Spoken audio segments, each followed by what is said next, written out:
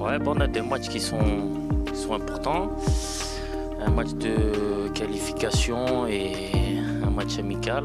Euh, voilà, même si on est qualifié, c'est des matchs qui vont être euh, importants pour, euh, pour la suite parce que il faut qu'on continue notre préparation pour arriver à être, être prêt pour le début de la, compétition en, en janvier. Donc faut se remettre aussi de- des deux matchs qui, n'ont pas été forcément bons euh, du mois de juin.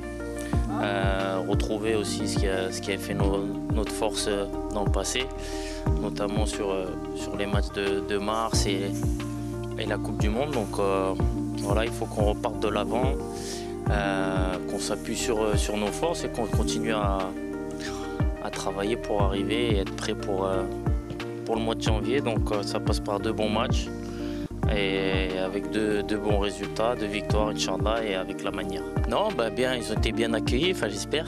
ils sont contents de leur, de leur accueil. Voilà, euh, pour certains, ils sortent de, euh, d'une victoire en, en Coupe d'Afrique euh, au, mois de, au mois de juin. Donc c'est aussi une récompense de leur, de leur travail et de leur début de saison. Donc c'est à eux aussi de, de bien, de bien s'intégrer